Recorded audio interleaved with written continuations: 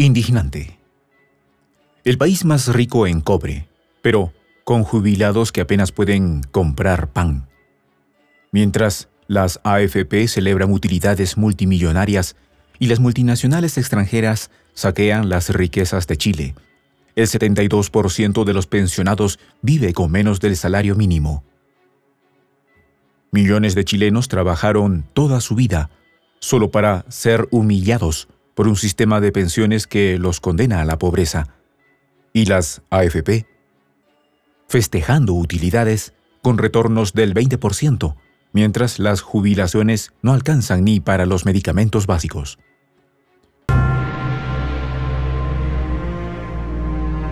¿Quieres saber cómo se puede fundar la patria grande?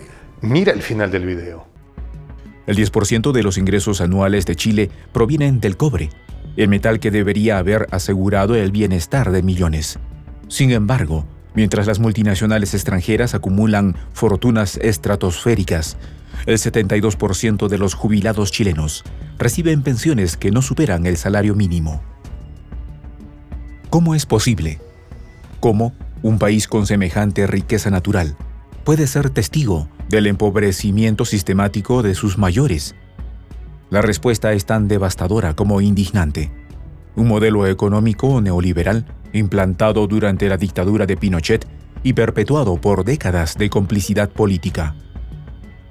Políticos como Ricardo Lagos, Michelle Bachelet, Sebastián Piñera y otros lideraron gobiernos que lejos de desmontar el sistema impuesto, contribuyeron a su consolidación, permitiendo que los recursos naturales y los derechos sociales de los chilenos siguieran al servicio del capital extranjero. El sistema de pensiones chileno, diseñado bajo la dictadura de Pinochet, prometió ser un modelo moderno y eficiente.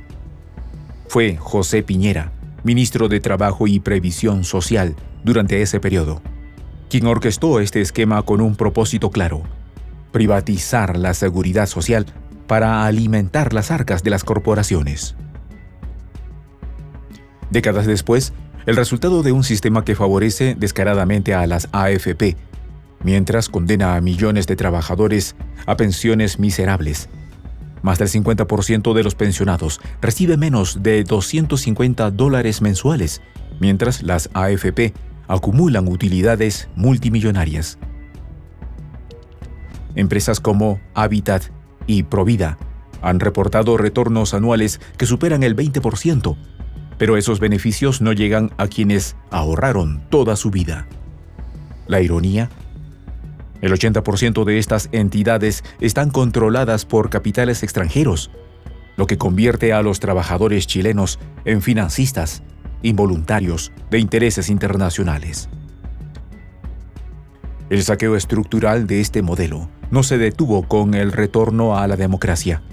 Gobiernos como el de Ricardo Lagos prometieron reformas, pero las medidas implementadas resultaron cosméticas.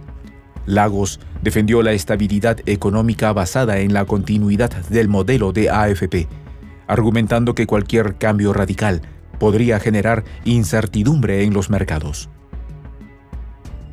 Posteriormente, Michelle Bachelet, quien estuvo en dos periodos gubernamentales, promovió el establecimiento del pilar solidario, una iniciativa que si bien ayudó a los sectores más vulnerables, dejó intacta la estructura central del sistema. Mientras tanto, Sebastián Piñera, tanto en su primer mandato como en el segundo, profundizó el modelo neoliberal, defendiendo con vehemencia las AFP, incluso frente a las protestas masivas que clamaban por una reforma estructural. El vínculo entre el saqueo del cobre y la crisis de las pensiones no puede ignorarse. Ambos son hijos del mismo esquema, un modelo económico que prioriza las ganancias de las élites a costa del bienestar de la mayoría.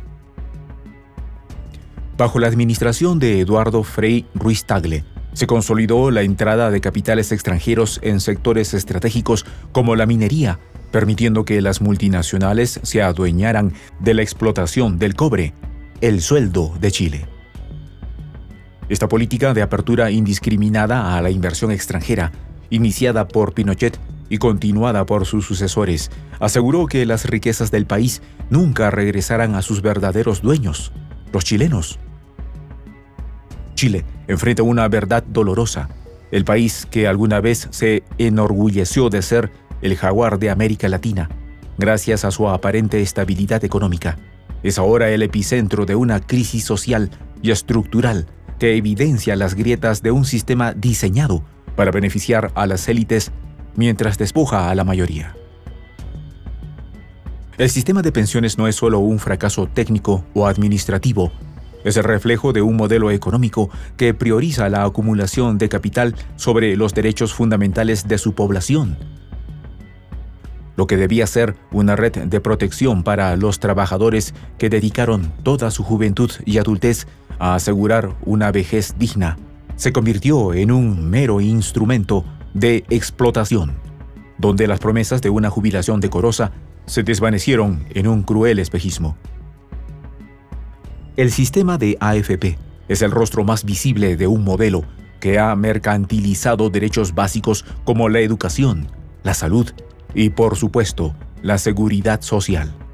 En un país donde el 1% más rico concentra el 26% de la riqueza nacional, Hablar de meritocracia o esfuerzo personal como justificación de la desigualdad es una burla descarada.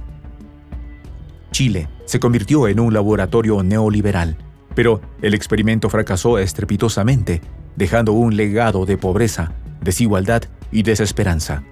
Las cifras no mienten. El 72% de los pensionistas viven con menos del salario mínimo, mientras las utilidades de las AFP crecen exponencialmente. Este contraste no es fortuito, es el resultado intencionado de políticas diseñadas para salvaguardar los intereses de las élites, perpetuando la desigualdad social en un país que, aunque logró crecimiento económico, no consiguió cerrar las profundas brechas sociales. Las críticas al sistema de pensiones no es solo un llamado a la reforma, sino una exigencia de justicia. Pero, ¿cómo es posible? Un país como Chile, que exporta miles de millones de dólares en cobre, no debería permitir que sus mayores vivan con pensiones dignas.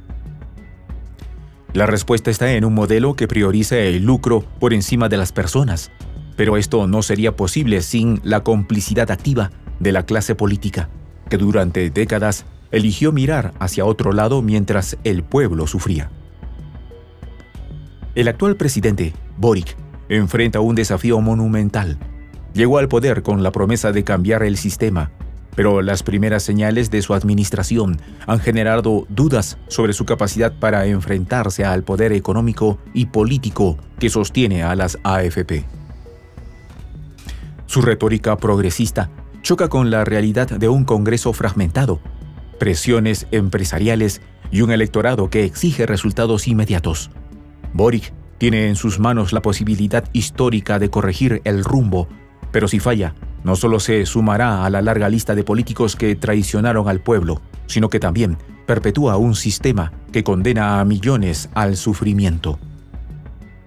Chile necesita más que reformas superficiales, necesita una transformación estructural que devuelva la dignidad a su gente, recuperar los recursos naturales, establecer un sistema de pensiones solidario, y desmantelar el poder de las AFP. No son solo metas deseables, sino urgencias impostergables. El verdadero problema no es solo el modelo neoliberal, sino una clase política que lo ha sostenido, defendido y perpetuado. Mientras los políticos sigan anteponiendo sus intereses a los del pueblo, Chile seguirá siendo un país rico en recursos, pero pobre en justicia social. En esta comunidad nos juntamos para, por ejemplo, conversar, interactuar, tener puntos de idea distintos, pero por ejemplo también tenemos un club de lectura donde leemos fragmentos de libros que consideramos que son importantes para crecer intelectualmente. También, por ejemplo, hacemos algo como lo que hace nuestro amigo el jefazo ahí en Bolivia. Les cuento la experiencia que me parece fascinante. Él tiene un restaurante ahí en Bolivia. Y en ese restaurante, ahí viene lo que tiene. un televisor. Y ustedes dirán, pero qué impresionante, ¿en qué contribuye que un restaurante tenga un televisor ahí en Bolivia? Una cosa muy importante, porque él, cada vez que abre su negocio, prende su televisor y pone los videos de prensa alternativa. Con eso, todos los días, poco a poco, con pasos muy concretos, él hace que toda la gente que vaya a su restaurante vaya insumiendo el concepto de la patria grande. Y así, pasito a pasito, estamos construyendo la patria grande.